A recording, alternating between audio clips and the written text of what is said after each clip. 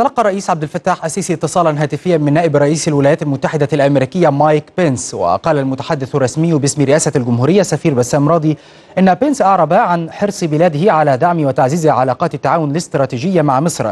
مثمنا دور مصر في تهدئة الأوضاع في غزة فضلا عن جهودها لتحقيق المصالحة الفلسطينية من جانبه أكد الرئيس على موقف مصر الثابت من القضية الفلسطينية والداعم لحقوق الشعب الفلسطيني وفق مقررات الشرعية الدولية